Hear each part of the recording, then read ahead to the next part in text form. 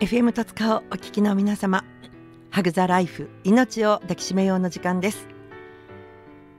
2019年2月12日今日もどうぞ。1時間お付き合いください。この番組は高齢になってもそして病気の時にも障害を持ったとしても安心して暮らせるまちづくりを目指して介護医療福祉の情報をお届けする番組です。朝の10時からとお昼の2時からそして夜の7時からと3回の放送をお届けしています。さあ2月12日の今日はメインコーナーは神谷部レポートといきましょう。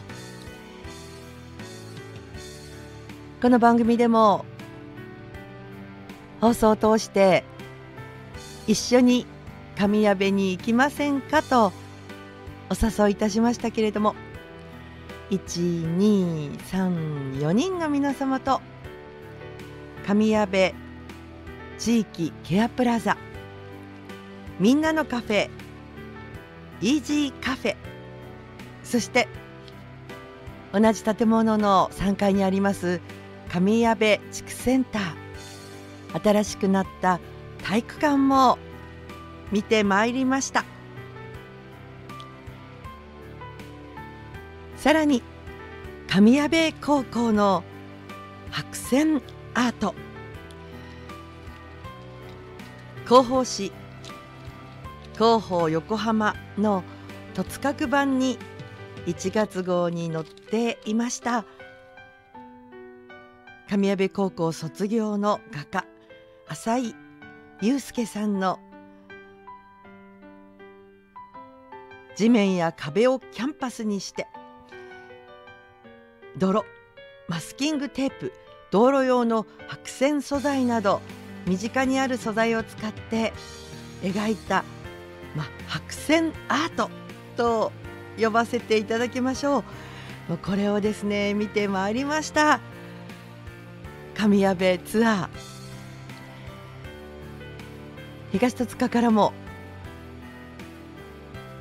弥生台行きのバスに乗って少し歩いて到着した神谷部地域ケアプラザ。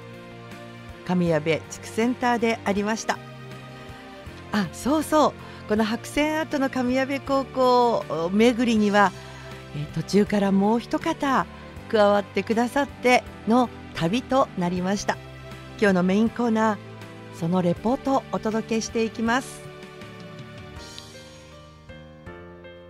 そして2月は戸塚区薬剤師会インフォメーション。日だまり薬局の佐藤先生の連続、えー、でお届けしているインフォメーションです。どうぞこちらもお聞き逃しのないように。それでは今日のハグザライフ命を抱きしめよう。どうぞお忙しい皆様は時々。そしてお時間のあります。皆様は再放送もありますのでねうまく組み合わせをしながら最後までお付き合いいただけると幸せです。この番組を支えてくださる4社の皆様をご紹介してスタートいたします。何でも気軽に相談してください。東戸塚を明るくする医療を目指す大久保総合内科クリニック。不動産でのお困りの方は地元の笠原企画へ。人に社会にお役に立つ企業を目指す笠原企画。処方箋受付から在宅訪問まで幅広いフィールドであなたのかかりつけ薬局を目指します。土日も営業東戸塚駅西口徒歩2分セントラルスポーツ脇平安薬局。その人らしく生きることを支援している社会福祉法人光。以上4社の提供でお送りします。それでは今日の1曲目。ラジオネーム浜野バタヤンが持ってきてくれましたアルバムの中から今日は新潟県の佐渡おけさです。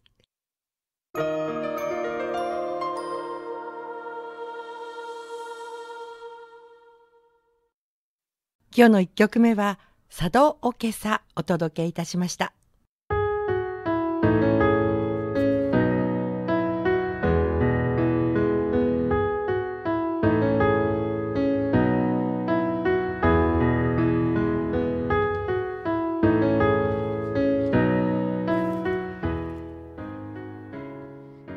それでは2月12日火曜日ハグザライフ命を抱きしめようのメインコーナーです。今日は神谷部レポートをお届けします。この番組でもみんなのカフェイージーカフェ神谷部地域ケアプラザ地域交流として行われているこのイベントに皆様いかがですかとお誘いして。2月の4日月曜日行ってまいりました。神谷部地域ケアプラザイージーカフェだけではなく神谷部の地域を散策してまいりました。その神谷部レポートをお届けしていきます。ちなみにみんなのカフェイージーカフェ次回は3月4日の月曜日毎月第1月曜日1月のみお休み10時から12時のプログラムです。皆様も手帳に書き入れてみるのはいかがでしょうか。さて集まった仲間はラジオネーム亀マリーさん。そして FM 戸塚の番組表25ページにもスポンサーとして掲出してくださっていますカフェブルージーの星さん。ウルトラプチアースヴィンテージスペシャルプラスも運営しているデイサービスも運営していらっしゃる星さん。そしてポラリスみちこちゃん。さらに旅の途中からは東戸塚の地区センターや地域ケアプラザそして区民活動センターなどでご一緒したこともあります。元カメラマンのそうそう私の写真もねスタジオに来て撮ってくださったこともありました。お久しぶりでした。山本さんも一緒にの旅でありました。さて神谷部場では東戸塚のスタジオからもとっても近いんですよ。弥生台行きのバス。まあもちろんあんまり本数はないんですがこのバスに乗って那瀬を通りおかずを通り下おかずのバス停の次の福寺入り口普通の「ふ」に光と書きますお寺の入り口のバス停でおりましてこう横移動するようにですねまあ山を越えと言いますかねちょっと一山越えてずっとこう下っていきますと神谷部地域ケアプラザに10分かからなかったですね。途中の大きな公園を通りかつて雨が降ってきた時にね雨宿りをした公園でありましたけれどもそんな位置関係であります神谷部地域ケアプラザ。同じ建物の中に神谷部地区センターも入っているのであります。東戸塚からバスに乗り10時オープンのイージーカフェの15分ほど前に建物の入り口に着きました。まずは神谷部地区センター。皆様にご挨拶すべく3階までエレベーターで登りました。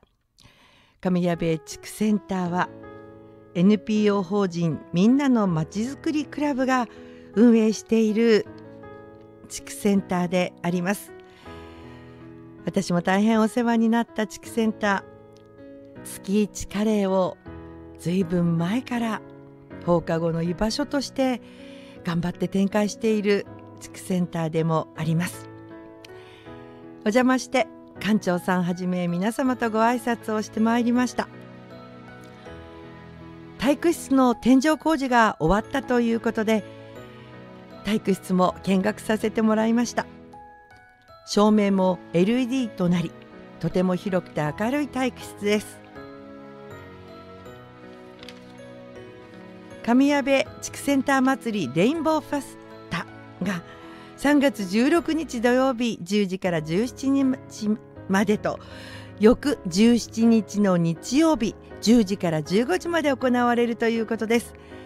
体育室のリニューアルのお披露目公演当日受付の浜野志龍さんの音楽と落語14時から16日土曜日の1日目の14時から無料でお披露目公演が行われるそうです。そんなお知らせも館長さんからいただきましてね。地区センターを後にしました。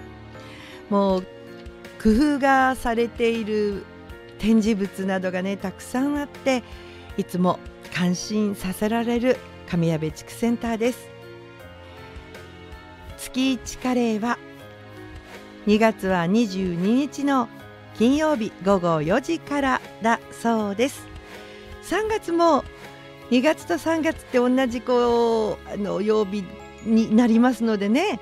2月は28日までですから。3月も22日金曜日午後4時からということであります。毎月第4金曜日4時から。これが放課後の居場所。月1カレーなんだそうです。さあ地区センターを後にしましてイージーカフェがもうオープンしている時間になりました。みんなのカフェイージーカフェにお邪魔いたしました。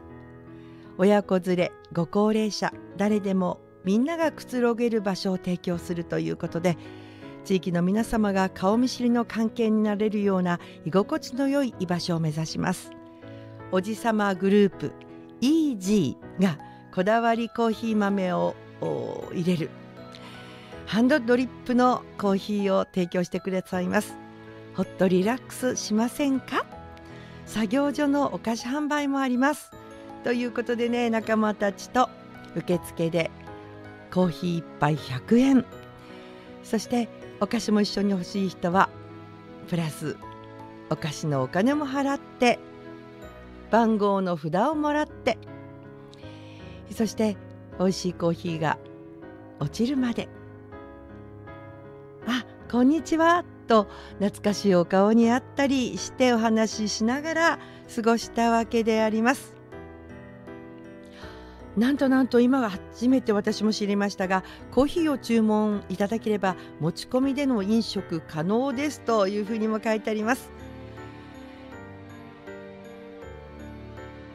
詳しいお問い合わせは神谷部地域ケアプラザまで。電話番号811の2442 811の2442です。もう一部屋用意してくださってどんどん増えたからでしょうね。子どもスペースも用意されていました。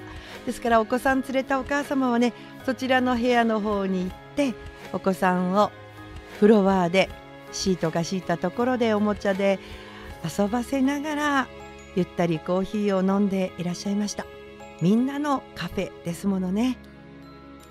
いや今回は内田さんにいろいろ教えていただいてイージーカフェのえー、おじさまグループイージーの内田さんにお話を伺いました、まあ、前回もねコーヒー豆のことパプアニューギニアのコーヒー豆のことも教えていただいてねお礼を持って私は今回お土産ですとお渡しして喜んでいただきました。よかったな。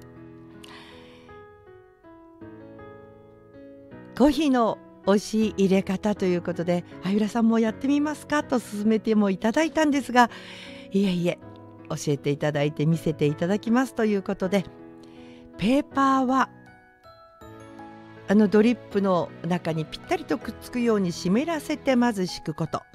そしてコーヒー豆をひいたものを入れて細い口の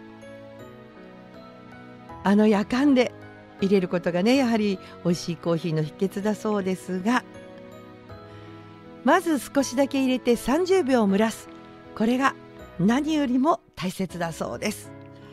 急いでね朝入れる時には30秒は待たずにねちょっとだけもちろん蒸らすことは知っていたんですが10秒ぐらいで次にタッと入れてしまったこともあったなと反省です。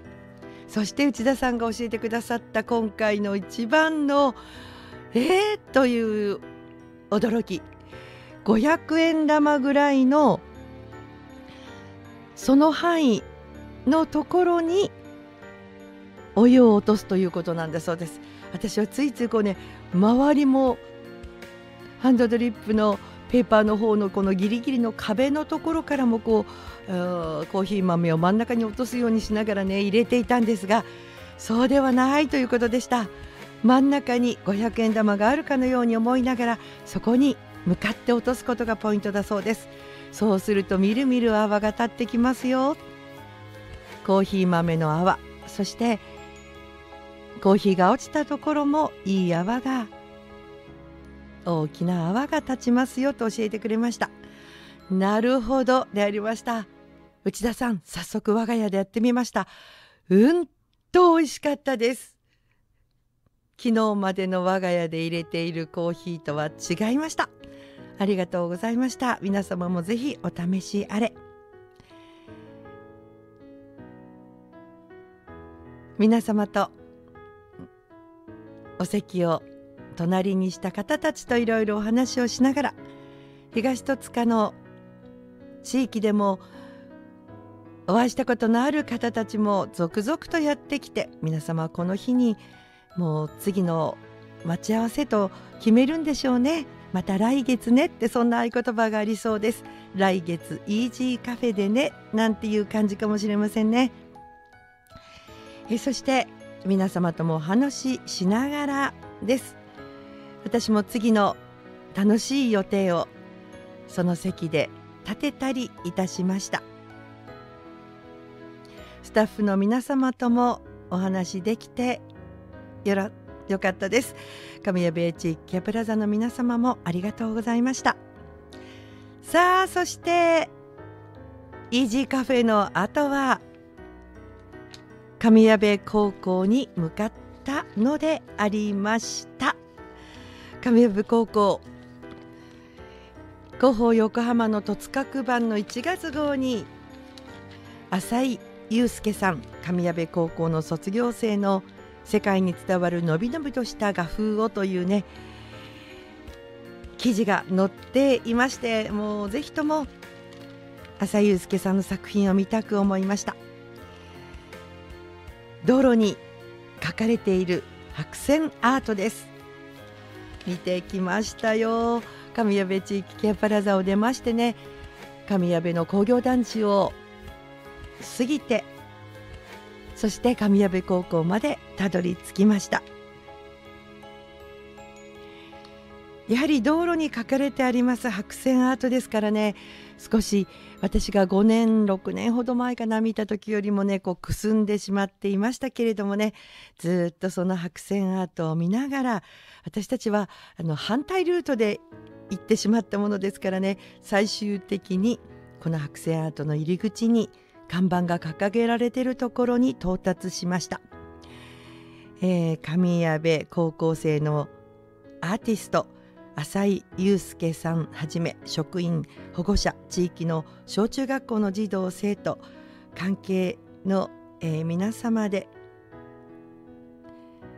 共同で制作し地域と連携しながら個性豊かに伸びる神谷部高校を表現しました。制作期間は平成25年7月10日から7月21日までということでね。そうですか。もう5年6年目になるということなんですね。そうか。じゃあ私本当に最初の頃に見たのかな。5年6年ぐらい前もっと前かなと思ったんですが制作が平成25年だったということです。制作方法道路表示用の白線素材をカットして焼き付けというふうに書かれてありました看板でした。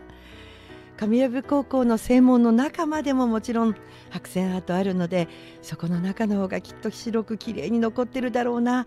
車も通ることもなくということでただ専門中の中にはですね関係者以外立ち入り禁止というふうに標識がありましたので門は開いていたんですがそうだと思いましてね上藪高校の電話番号にお電話をそこからかけちょうど副校長先生がいらっしゃって戸塚の広報を見ました。こんな思いで白線アートが見たいのですというふうにお話したところそういう事情でしたらどうぞと言っていただきまして中まで入ってみたのでありました。ちょうど神谷高校の美術部の卒生展がこの2月4日月曜日の、えー、3時までだったかな。桜プラザホール。あえー、戸塚区役所のアートギャラリーまたは区民広間だったのかな。そこの辺りでやっているというふうなポスターも貼ってあって私たちの同行した中のお一人山本さんはこれから戸塚まで歩いて行ってみます。というふうに、えー、お話ししてそこで別れたのでありました。私とポラリス美智子さん2人は他のメンバーもそれぞれの仕事で途中で抜けたのですがまた福王寺入り口まで神谷部工業団地の中を通り歩いて行きました。途中にあった平成庵というお蕎麦屋さんで美味しいお蕎麦を北海道のそば粉であるお蕎麦をそば粉で打ったお蕎麦を食べて帰りのバス東戸塚行きのバスに乗ったのでありました。神谷部地域の旅レポートをお届けいたしました。ラジオネーム亀まりさんとラジオネームみちこちゃんポラリスみちこちゃんからの感想もメールが入っていますので後ほどご紹介していきます。こんな形でまた我が地域を一つだけのポイントではなくあれとこれとこれってそんな形で皆様をまた募りながらですね旅をしていきたいと思いました。今日のメインコーナーでした。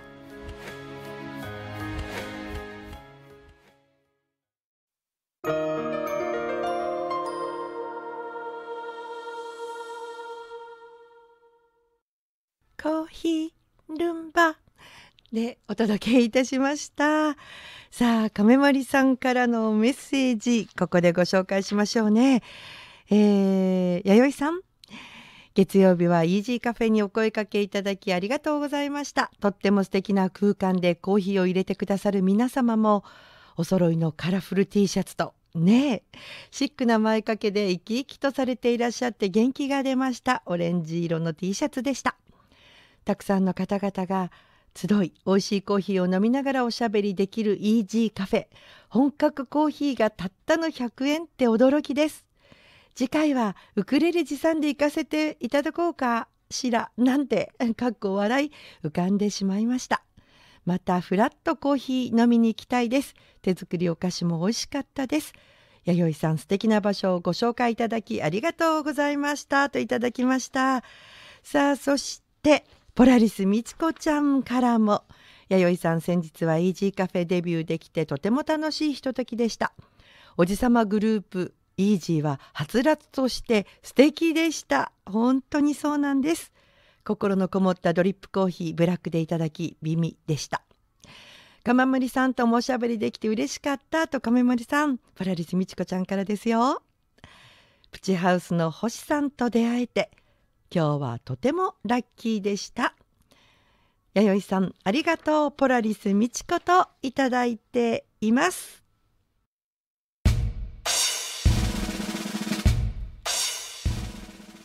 それでは連続エッセイのコーナーです。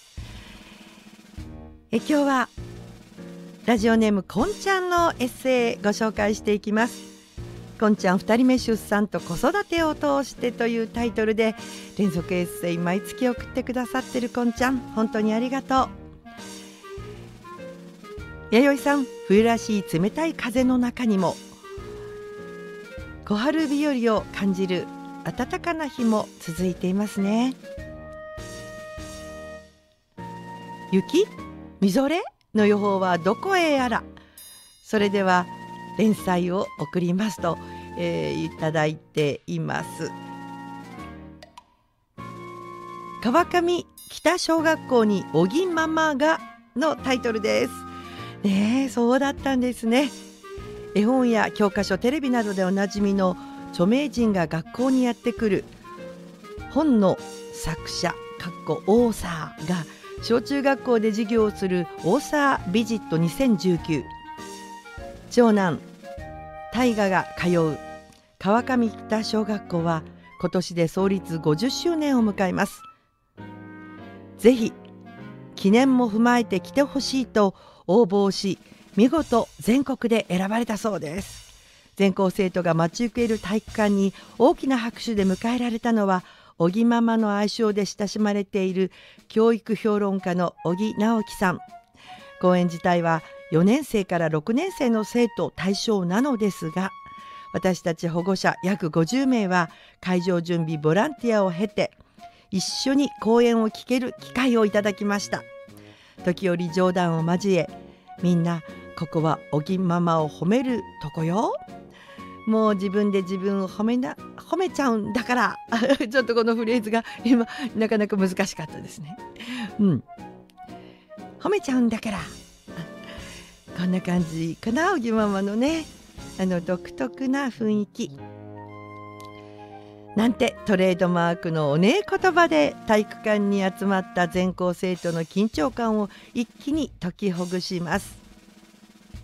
お話は主にいじめ問題を生徒の事前アンケートに答えながらそして思春期の大切ささらにはテレビ芸能界のちょっとした裏話までいろいろと。それでは印象に残ったお話を紹介したいと思います。あの忘れもしない3.11の地震の日岩手県釜石市街の港近くにある釜石小学校では学期末の短縮授業だったため地震発生の瞬間はほとんどの児童が学校外にいました。しかし児童生徒が津波から生き残ることができたという事実を知るべく小木ママは2度釜石小に足を運びその時に知り得たエピソードをお話してくださいました。ある小学生の男の子は地震発生時に自宅に一人でいたが学校で教えられた通り避難所まで自力で避難しました。また小学生の男の子は足の悪い弟と2人で自宅で留守番をしていましたが弟を背負って近くの山まで避難したそうです。防波堤で釣りをしていた小学生も自らの判断で自力で逃げたそうです、えー、3人の小学生の男の子の話を事例としてお話しくださった小木ママだったんですね。それがこんちゃんにとってのとても印象に残った話として書いてくれています。彼らは自分たちの身を自ら守ったのです。住民はいつの間にか津波警報が発令されても結果として到来した津波は数十センチという繰り返しに慣れてしまい本当に津波が来た時には指示された避難所に行けばよいと思う人が多くなりさらにはそれでも堤防があるから大丈夫という油断が生まれていました。三陸地方には津波天然湖という昔話が伝えられているそうです。地震があったら家族のことさえ気にせず点でバラバラに自分の命を守るために一人ですぐ避難し一家全滅共倒れを防げという教訓です。その教育が生徒たちに強く強く身に染みついていたと小木ママはお話ししていました。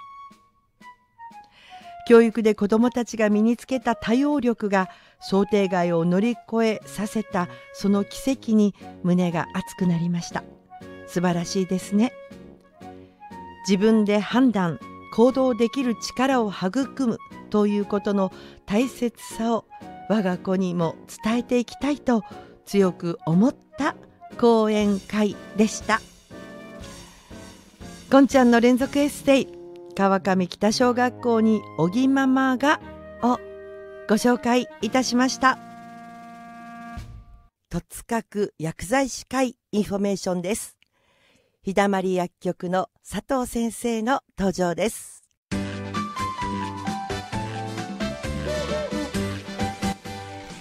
皆さんこんにちは。私は戸塚区薬剤師会の理事を務めております。日だまり薬局の佐藤と申します。よろしくお願いします。少し薬局の紹介をさせていただければと思います。日だまり薬局は戸塚駅西口の戸塚朝日町通り商店街の一角共立第一病院の目の前に位置しております。戸塚共立第一病院の門前薬局である当薬局は多種多様な業務にあたり医療の推進に伴い私たち薬剤師また事務員も日々向上している薬局です。薬局があちらこちらと増えてきている中地域に根付く薬局としてどうしていくべきか。それはこの戸塚の地域を大切にすること。地域の皆様とのコミュニケーションの大切さだと感じております。毎日の日々に出会いに感謝の連続です。ありがとうございます。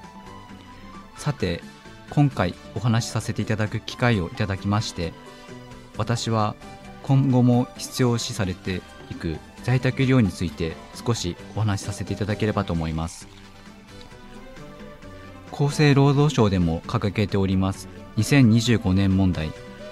現在最先端で仕事に励まれておられる方々が定年され超高齢化社会に到達するに向け国としてどう改革するべきか考えていらっしゃるようです。いろいろ調べてみたところ2025年の高齢者人口は3657万人。そのうち75歳以上の方は2179万人。実際病院に入院されたと仮定すると全国で130万床しかない病院での入院医療には限界がきます。また高齢化に伴い要介護認定者は増加し外来通院困難者も増える。高齢者の独居夫婦のみの増加も考えられ入院していた患者様が自宅に戻ることが困難といったケースも増えてくると思います。こういった予想されることから在宅医療の重要性また需要が一気に加速すると思います。その時薬局はどこまで対応ができるのか。24時間体制内服困難に備え輸液を詰められる昆虫室が必要なのか。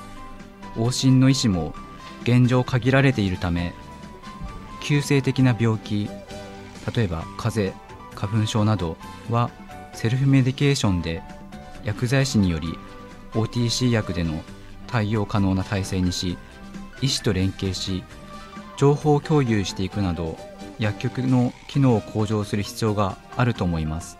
私の薬局でも3年前在宅を立ち上げ初めは外来受診された患者様がなかなか通院も困難となり医師から在宅の依頼があり在宅医療に移りました。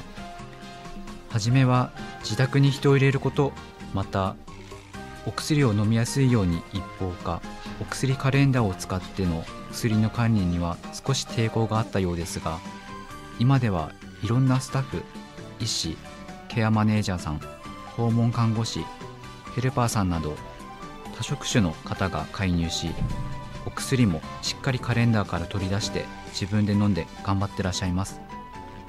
独居の方なので普段一人なので訪問した時はお話が途切れないのがよくもあればちょっと難点でもあります。在宅を始めて思うことは医療介護生活支援サービスなど患者様に対しより細やかなサービスを提供するため地域包括ケアシステムの構築に向け医師をはじめケアマネージャー訪問看護師ヘルパーなど多職種と積極的に連携し患者様第一により良い医療介護支援をするため各スタッフと顔の見える関係を作りチームとして取り組んでいければいいなと思います。そうすることで何より仕事をしていて患者様また多職種の方からの信頼感を感じた時やっててよかった。もっともっと質の高い医療をと思えると私は思います。最後になりますが在宅は患者様個人個人で調剤方法も違いますし求められることも違います。オーダーメイドなので手間がかかるのはしょうがないと思います。それはやるかやらないか悩んでる薬局があるとしたら私はやってほしいと思います。今年はイノシシ年ですので、まちょっとつ盲信恐れずに挑戦していきましょう。そこから必ず何か得ることができると私は思います。本日はどうもありがとうございました。皆様いかがだったでしょうか？ご質問などはいつでも番組やってお寄せください。それでは佐藤先生の日だまり薬局を思いながらこの曲ルクプル日だまりの歌お届けいたします。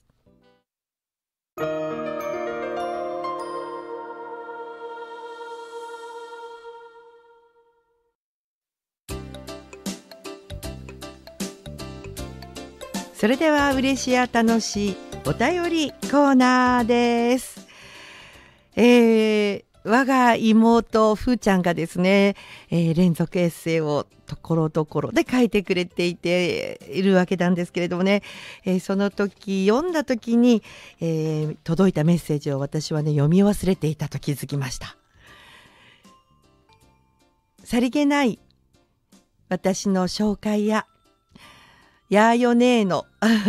こんな風に、えー、私のことを言うふーちゃんなんですが一言が耳に心地よく残りました。ありがとうございました。と北海道函館から、えー、もらっていましたメールがありました。さらに北海道函館から。違いました。北海道札幌から。いただきました。おはがき嬉しいな。そしてこれは旭山動物園の絵描きなんですね。うわこんにちは。北の空よりお手紙書いてますといただいています。ゆみちゃんです。どうもありがとうございます。1月29日のハグの番組の内容をラジオネームるんちゃんから聞きました。そして29日のハグ聞きましたよ。たまにですみませんと書かれてあります。いえいえありがとうございます。札幌市厚別区からいただいています。ゆりちゃんかのちゃんの歌声とても素敵でした。できればもう一曲聞きたかったのですが。これはねもう皆様からのリクエストでありますのでねかのちゃんゆりちゃんに伝えておきます。そしてクリスマスの歌もお願いと今からもうねいただいているんですよ。若い歌声はいいですね。いっぱい練習したんだろうなと。そして2人の歌声に2人の親御さんも力をもらえているような気がしました。はい。これからも遠く北の空から応援していますといただいています。ありがとうございます。これはアザラシかな。なんだかすごいもうこう芸術的な体の動きをしてこれができる動物たちの自然な動きがあるのが旭山動物園なんでしょうね。ありがとうございます。ゆみちゃんでした。さあそして亀まりさんからも2人の歌声の感想です。ハグの放送とっても素敵でした。ゆりちゃんかのちゃんの2人の明るさが声からも感じられてその場の空気感もリスナーの皆さんに伝わったのではないかと思います。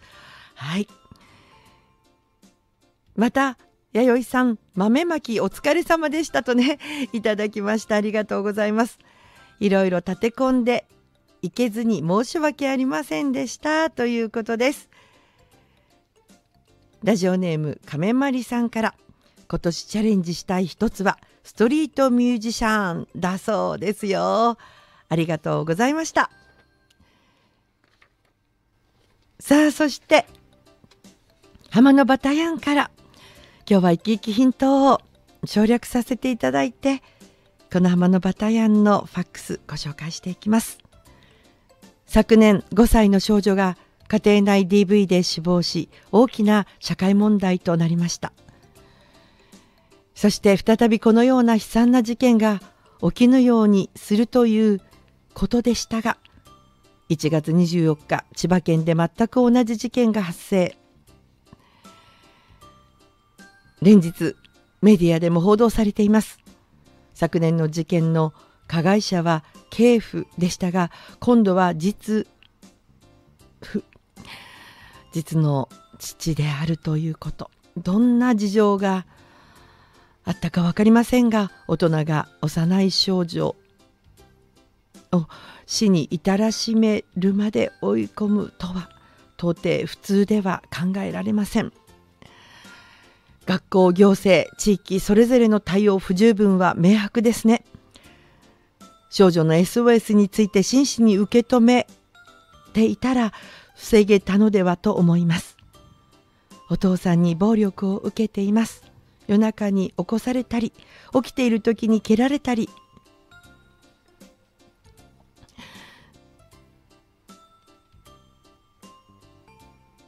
叩かれたりされています。先生どうにかできませんか？胸が詰まります。当番組弥生さんのハグザライフの理念から遠くかけ離れています。亡くなったみやちゃんご冥福を祈ります。浜のバタヤン。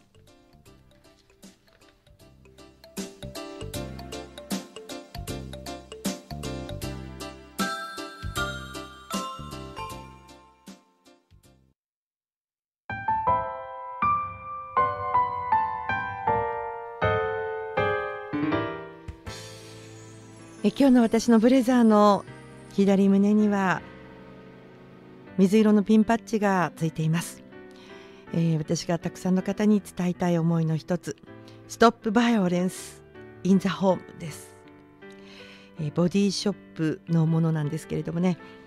何ですかこれってよく聞かれるとその暴力力というものがどんなに人の心を蝕むものなのかということ力がを使わなくても親は力を持っているのだけど我が子に向かって一人一人の人間として向き合うことができると私は思いながらコミュニケーションインストラクターを続けています。この番組を支えてくださる皆様をご紹介して今日のお別れです。何でも気軽に相談してください。東戸塚を明るくする医療を目指す大久保総合内科クリニック。不動産でのお困りの方は地元の笠原企画へ。人に社会にお役に立つ企業を目指す笠原企画。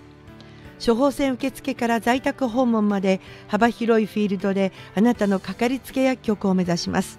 土日も営業。東戸塚駅西口徒歩2分。セントラルスポーツ脇平安薬局。その人らしく生きることを支援している。社会福祉法人光以上4社の提供でお送りしました。それでは皆様お元気でお過ごしください。また来週。お相手は相浦弥生でした。さようなら。